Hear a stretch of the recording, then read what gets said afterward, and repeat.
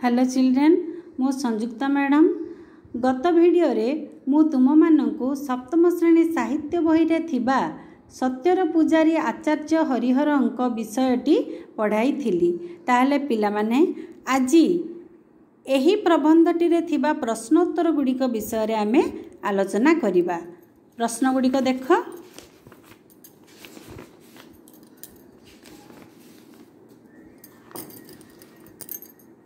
ଦେଖ ପ୍ରଶ୍ନ ଏକ। ପ୍ରଶ୍ନ ଏକ କ। ଛାତ୍ର ଜୀବନରେ ହରିହର କେଉଁମାନଙ୍କର ସେବା କରୁଥିଲେ? ଉତ୍ତରରେ ଲେଖିବ ଛାତ୍ର ଜୀବନରେ ହରିହର ଲୋକହିତକର କାର୍ଯ୍ୟ ପ୍ରତି ଆକର୍ଷିତ ହୋଇଥିଲେ? ସେ ପଢ଼ିବା ସମୟରେ କାହାର ରୋଗ ହେଲେ ତାର ସେବା କରିବା ଅଭାବ ପଡ଼ିଲେ ମଡ଼ା ଉଠାଇବାରେ ସାହାଯ୍ୟ କରିବା ଗାଁ ସ୍କୁଲ ପାଇଁ ଛଣ ସଂଗ୍ରହ କରିବା ବାଉଁଶ ସଂଗ୍ରହ କରିବା ଗାଁର ନିରକ୍ଷର ଲୋକଙ୍କୁ ପାଠ ପଢ଼ାଇବା ଇତ୍ୟାଦି କାର୍ଯ୍ୟ ପାଇଁ ଆଗଭର ହୋଇ ପଡ଼ୁଥିଲେ। ଖ ଓଡ଼ିଶାରେ ପ୍ରଥମେ କେବେ ଆଇନ ଅମାନ୍ୟ ଆନ୍ଦୋଳନ ହୋଇଥିଲା? ଉତ୍ତରରେ ଲେଖିବ ଓଡ଼ିଶାରେ ପ୍ରଥମେ ଉଣେଇଶହ ତିରିଶ ମସିହାରେ ଆଇନ ଅମାନ୍ୟ ଆନ୍ଦୋଳନ ହୋଇଥିଲା। ଆଚାର୍ଯ୍ୟ ହରିହର ଇଞ୍ଚୁଡ଼ିଠାରେ ଆଇନ ଅମାନ୍ୟ ଆନ୍ଦୋଳନରେ ପ୍ରଥମ କରି ଯୋଗଦାନ କରି ବନ୍ଦୀ ହୋଇଥିଲେ। ଗ ହରିହର କେଉଁଠାରେ ଜନ୍ମଲାଭ କରିଥିଲେ? ଉତ୍ତର ଲେଖିବ ହରିହର ପୁରୀ ଜିଲ୍ଲାର ସାକ୍ଷୀଗୋପାଳ ନିକଟସ୍ଥ ରାମଚନ୍ଦ୍ରପୁର ଗ୍ରାମରେ ଜନ୍ମଗ୍ରହଣ କରିଥିଲେ। ଘ. ହରିହର ଓକିଲାତି ବିଦ୍ୟା କାହିଁକି ପଢ଼ିଲେ ନାହିଁ? ଉତ୍ତରରେ ଲେଖିବ ସେ କାଳରେ ଓକିଲାତି ପାଠର ବହୁତ ମର୍ଯ୍ୟାଦା ଥିଲା ଏହା ଏକ ଲାଭଜନକ ପେଶା ହୋଇଥିବାରୁ। ତାଙ୍କ ନନା ମହାଦେବ ବ୍ରହ୍ମା ପୁଅକୁ ଓକିଲ କରିବାର ଅଭିଳାଷ ପୋଷଣ କରିଥିଲେ। ହରିହର ମଧ୍ୟ କିଛି ଦିନ ଓକିଲାତି ପାଠ ପଢ଼ିଥିଲେ କିନ୍ତୁ ତାଙ୍କ ଓକିଲାତି ବ୍ୟବସାୟ ଆଡ଼କୁ ମନ ମୋଟେ ଗଲା ନାହିଁ। ତେଣୁ ସେ ଓକିଲାତି ପଢ଼ା ଛାଡ଼ି ଶେଷ ପରୀକ୍ଷା ନ ଦେଇ ଚାଲି ଆସିଲେ। ଓ ନୀଳଗିରି ସ୍କୁଲଟି କାହିଁକି ଭାଙ୍ଗିଗଲା? ଉତ୍ତରରେ ଲେଖିବ ହରିହର ନୀଳଗିରି ସ୍କୁଲରେ ଶିକ୍ଷକତା କରୁଥିବା ସମୟରେ ବଙ୍ଗଦେଶରେ ଜାତୀୟ ଆନ୍ଦୋଳନ ଆରମ୍ଭ ହେଲା। ଥରେ ପଲିଟିକାଲ ଏଜେଣ୍ଟ କବ୍ଡେରାମ ସେ ନୀଳଗିରି ସ୍କୁଲକୁ ଆସିଥିଲେ।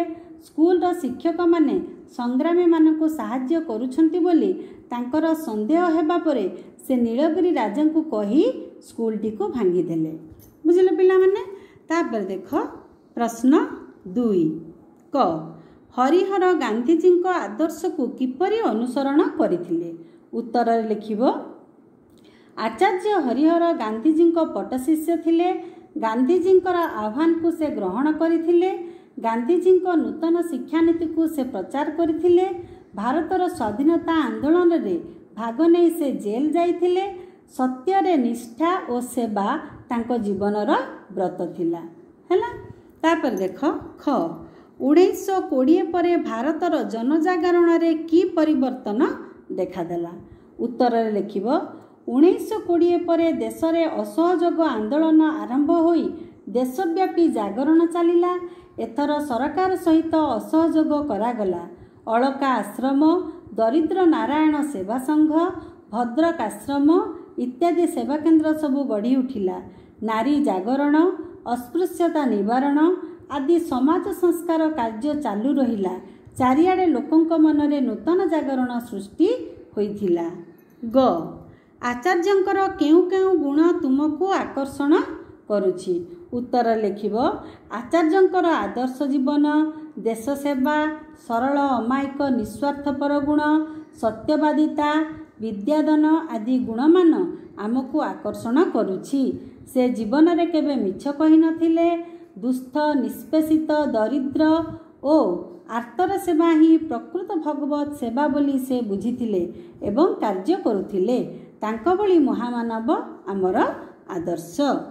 ଘ ଆଚାର୍ଯ୍ୟଙ୍କର ଶେଷ ଜୀବନ କିପରି କଟିଥିଲା? ଉତ୍ତରରେ ଲେଖିବ ଆଚାର୍ଯ୍ୟ ହରିହର ଶେଷ ଜୀବନରେ ଭୀଷଣ ଅସୁସ୍ଥ ହୋଇପଡ଼ିଥିଲେ ତାଙ୍କ ଛାତି ଭିତରେ କଫ ଜମି ଯାଇଥିଲା ଦେହରେ ଭୀଷଣ ଜ୍ୱର ଥିଲା। ଡାକ୍ତରମାନେ ଆଶଙ୍କା ମଣିଲେ ଆଚାର୍ଯ୍ୟ ମହାଶୟ ମାସ ମାସ ଧରି ବିଛଣାରେ ପଡ଼ି ରହିଲେ। ଶେଷରେ ଉଣେଇଶହ ଏକସ୍ତରୀ ମସିହା ଫେବୃଆରୀ କୋଡ଼ିଏ ତାରିଖ ସକାଳ ଛଅଟା ପଚାଶ ମିନିଟ୍ରେ ସେ ଶେଷ ନିଶ୍ୱାସ ତ୍ୟାଗ କଲେ। ଓ ସନ୍ନ୍ୟାସୀ କାହାକୁ କୁହାଯାଏ?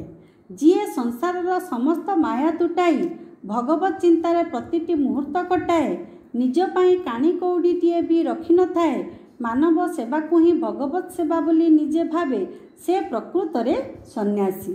ସନ୍ନ୍ୟାସୀ ନିଜର ସବୁକିଛି ତ୍ୟାଗ କରି ସରଳ ଓ ନିରାଡ଼ମ୍ବର ଜୀବନ ଅତିବାହିତ କରେ। ସତ୍ୟ ଓ ସଂଯମ ସେମାନଙ୍କର ଧର୍ମ ହୁଏ। ଆଚାର୍ଯ୍ୟ ହରିହର ଏହିଭଳି ଜଣେ ସନ୍ନ୍ୟାସୀର ଜୀବନ ଅତିବାହିତ କରୁଥିଲେ।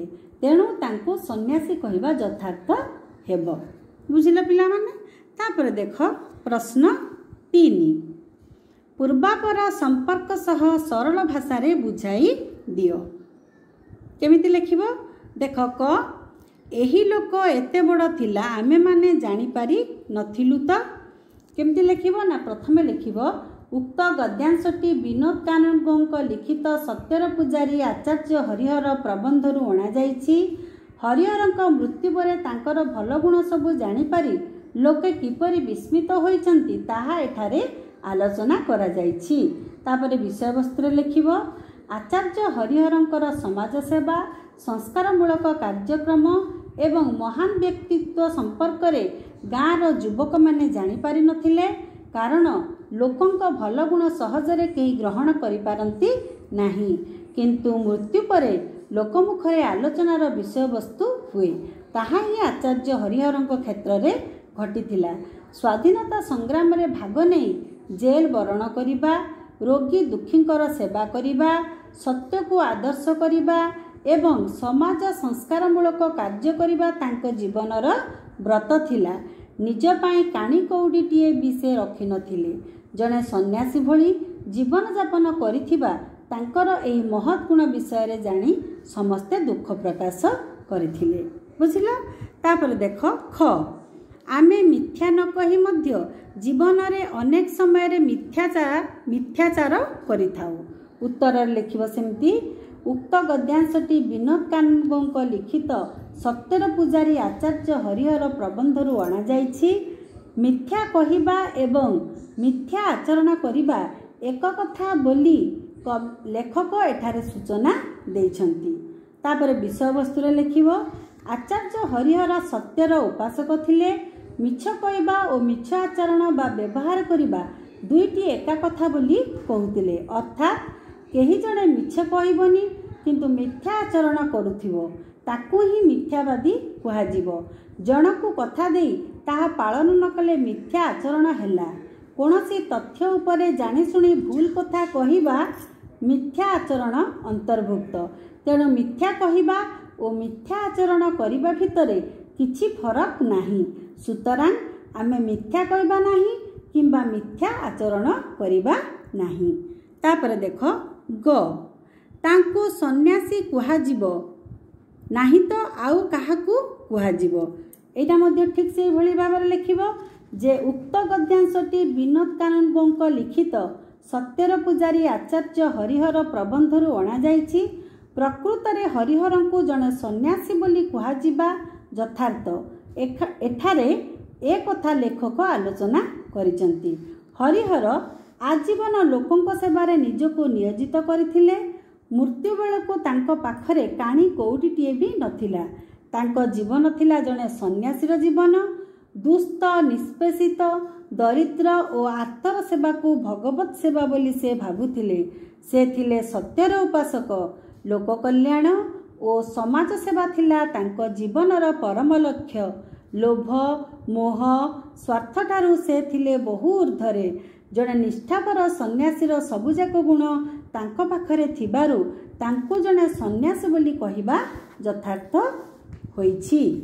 ବୁଝିଲେ ପିଲାମାନେ? ତାପରେ ଦେଖ ପ୍ରଶ୍ନ ଚାରି ଦିଆଯାଇଥିବା ଶବ୍ଦ ଗୁଡ଼ିକର ବିପରୀତାର୍ଥ ବୋଧକ ଶବ୍ଦ ଲେଖ। ଦେଖ ତଳେ ଦେଇଛି ଗୌଣ ନିରକ୍ଷର ସୁଯୋଗ ଉନ୍ନତ ତୀରଧାନ। ଏହାର ଉତ୍ତର ମଧ୍ୟ ମୁଁ କହିଦେଉଛି। ଗୌଣ ମୁଖ୍ୟ। ସୁଯୋଗ ଦୁର୍ଯୋଗ। ତୀରଧାନ ଆବିର୍ଭାବ। ନିରକ୍ଷର ସାକ୍ଷର। ଉନ୍ନତ ଅନୁନ୍ନତ। ହେଲା? ତାପରେ ଦେଖ ପ୍ରଶ୍ନ ପାଞ୍ଚ। ବାକ୍ୟରେ ବ୍ୟବହାର କର। ଏହା ମଧ୍ୟ ମୁଁ ତୁମକୁ କହିଦେଉଛି। ତୁମେମାନେ ମନ ଦେଇ ଶୁଣ। ସଂକଳ୍ପ। ଆଜି ଦିନଟିରେ ଗୋଟିଏ ଭଲ କାର୍ଯ୍ୟ କରିବା ପାଇଁ ସକାଳର ସଂକଳ୍ପ ହେବା ଉଚିତ ପିଲାମାନେ ମୁଁ ଗୋଟିଏ କହିଦେଲି ବାକି ଯେଉଁ ବାକ୍ୟରେ ବ୍ୟବହାର କର ଦେଇଛି ଅନ୍ୟ ଚାରୋଟି ତାକୁ ତୁମେ ତୁମ ନିଜ ମନର ମନରୁ ଭାଷା ବାହାର କରି ନିଜେ ଲେଖିବ ହେଲା ପିଲାମାନେ ବର୍ତ୍ତମାନ ମୁଁ ସମସ୍ତ ପ୍ରଶ୍ନ ଉତ୍ତର ଆଲୋଚନା କରିଦେଇଛି ତୁମେମାନେ ଏହାକୁ ଭଲ ଭାବରେ ଶୁଣିବ ଏବଂ ନିଜ ମନରୁ ଭାଷା ବାହାର କରି ତାକୁ ଲେଖିବା ପାଇଁ ଚେଷ୍ଟା କରିବ ଏବଂ ସୁନ୍ଦର ଅକ୍ଷରରେ ଓଡ଼ିଆ କପିରେ ମୁଁ ଯେତୋଟି ପ୍ରଶ୍ନ ଉତ୍ତର କହିଲି ତାକୁ ଲେଖିବ। Thank you children